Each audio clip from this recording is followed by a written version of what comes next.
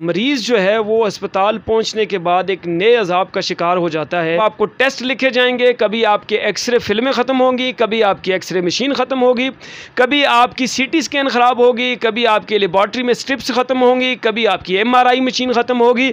अगर मैं इन मसाइल को गिनना शुरू करूँ तो इतने बड़े मसाइल हैं कि गरीब आदमी के नसीब में धक्के ही आते हैं। यूँ तो हर कोई कहता है, तुझे मसीहा, लेकिन एक शख्स मर गया, तुझे देखने के बाद डॉक्टरों को कंट्रोल ना करना, उनको मैनेज ना करना करना, उनकी ड्यूटीज़ ना देखना, अस्पताल की मशीन मशीनरी को ना देखना, अस्पताल में मेडिसन के सेटअप को ना देखना, ये मैनेजमेंट बोर्ड की और कम्प्लेक्स की, इंतज़ामिया की नाअहली है, जिससे आए लोग, आए रोज़ लोग जो है वो मसाइल का शिकार होते हैं। ऑफ़ गवर्नर जो है वो इसका तमाम तर ज़िम्मेदारी और हॉस्पिटल मैनेजमेंट की है। स्थान से लेकर हरीपुर तक बटकराम उगी बालाकोट, जितना एरिया है इवन मुजफ्फराबाद और गिलगित के मरीज़ भी जो है वो यहाँ पर रेफ़र कर दिए जाते हैं। जो आँखों के मरीज़ थे, उनकी आँखें ज़ाया हो गई कई बच्चों की इस वजह से डेथ हो गई कि वहाँ पे डॉक्टर उसको देखने नहीं आ रहा। कभी इस ऑपरेशन के दौरान अंदर कैंचियाँ तक और कपड़े तक रह गए यानी लापरवाही और शदीद बद इंतज़ामी की इंतहा है।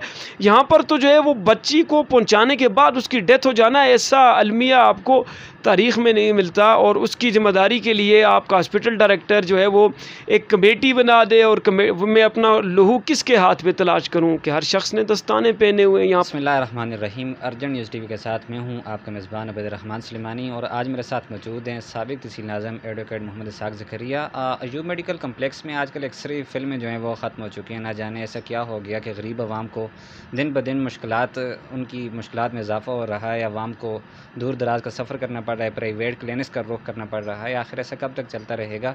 अयूब मेडिकल कम्प्लेक्स का ये जो वाक़ है, इसका ज़िम्मेदार आप किसको समझते हैं? रहीम अयूब मेडिकल कम्प्लेक्स में आपको शदीद बद इंतज़ामी नज़र आती है। मरीज़ जो है, वो अस्पताल पहुँचने के बाद एक नए अजाब का शिकार हो जाता है।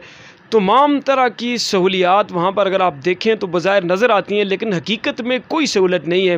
बोर्ड ऑफ़ गवर्नर जो है, वो इसका तमाम तर ज़िम्मेदारी और हॉस्पिटल मैनेजमेंट की है कि वो लोग आवाम को सहूलत फ़राम नहीं कर रहे। एक स्ट्रेचर से लेकर, एक व्हील चेयर से लेकर अद्वियात तक तमाम चीज़ें अस्पताल में आपको दस्तियाब नहीं होती हैं। डॉक्टरों के धक्के आपको अलग से मिलते हैं। पहले तो आपको डॉक्टर मिलेगा ही नहीं।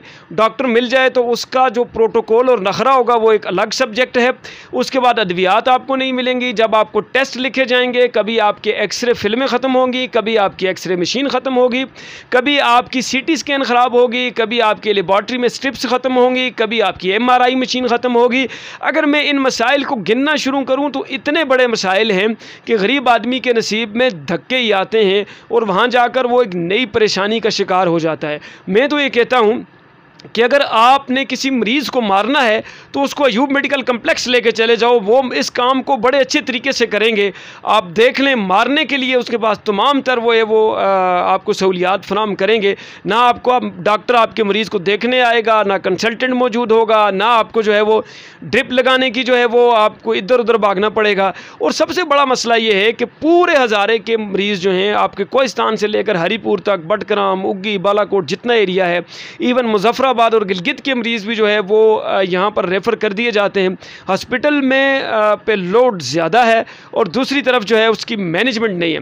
गो के डॉक्टर्स कम्पिटेंट वहाँ पर मौजूद ज़रूर हैं, लेकिन डॉक्टरों को कंट्रोल ना करना, उनको मैनेज ना करना, उनकी ड्यूटीज़ ना देखना, अस्पताल की मशीन, मशीनरी को ना देखना, अस्पताल में मेडिसन के सेटअप को ना देखना, ये मैनेजमेंट बोर्ड की और कम्प्लेक्स की, इंतज़ामिया की नाअहली है, जिससे आए लोग, आए रोज़ लोग जो है वो मसाइल का शिकार होते हैं। और आप देखें कभी लोगों की आँखें ज़ाया हो जाती हैं। यहाँ पर तो बड़े बड़े हादसा हो चुके हैं कि अस्पताल पहुँचने के बाद जो आँखों के मरीज़ थे, उनकी आँखें ज़ाया हो गई। कई बच्चों की इस वजह से डेथ हो गई कि वहाँ पर डॉक्टर उसको देखने नहीं आ रहा। कभी इस ऑपरेशन के दौरान अंदर कैंचियाँ तक और कपड़े तक रह गए यानी लापरवाही और शदीद बद इंतज़ामी की इंतहा है और पूरी दुनिया में ऐसा निज़ाम आपको नहीं मिलता जिसमें तिब्बी अमला जो है वो अपना हड़ताल करके बैठ जाए और अगर हड़ताल न करे तो मरीज़ों को धक्के देने वाला काम शुरू हो जाए और जब कोई मरीज़ के लवाकिन में से कोई बात करे तो उस पर धावा बोल दिया जाए। अच्छा, इसी तरह अगर देखा जाए तो चंद दिन कबल एक छोटी सी बच्ची जिसको मक्खियों ने काट दिया डॉक्टर उसको चेक करने ना आए और फिर इसी तरह उस बच्ची को तबी इमदाद ना मिलने की वजह से उसकी डेथ भी हो गई इसकी ज़िम्मेदारी किस पर पड़ती है?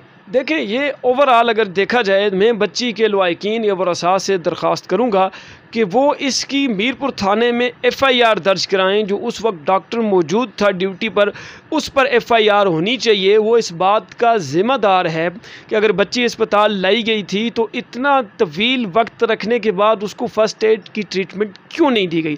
अगर फ़र्स्ट एड ट्रीटमेंट नहीं दी गई और बच्ची की इस वजह से डेथ हुई है तो फिर इसका ज़िम्मेदार वो डॉक्टर है और उस पर एफ़ आई आर होनी चाहिए और एफ़ आई आर भी कत्ल की होनी चाहिए कि ये जानबूझकर जो है वो कत्ल किया गया कि उसको देखा नहीं गया। एक डॉक्टर की जो है, वो ज़िम्मेदारी है। यूँ तो हर कोई कहता है, तुझे मसीहा लेकिन एक शख्स मर गया तुझे देखने के बाद, यानी यहाँ पर तो जो है, वो बच्ची को पहुँचाने के बाद उसकी डेथ हो जाना ऐसा अलमिया आपको तारीख़ में नहीं मिलता। और उसकी ज़िम्मेदारी के लिए आपका हॉस्पिटल डायरेक्टर जो है, वो एक कमेटी बना दे और मैं अपना लहू किसके हाथ में तलाश करूँ? कि हर शख्स ने दस्ताने पहने हुए हैं यहाँ पर।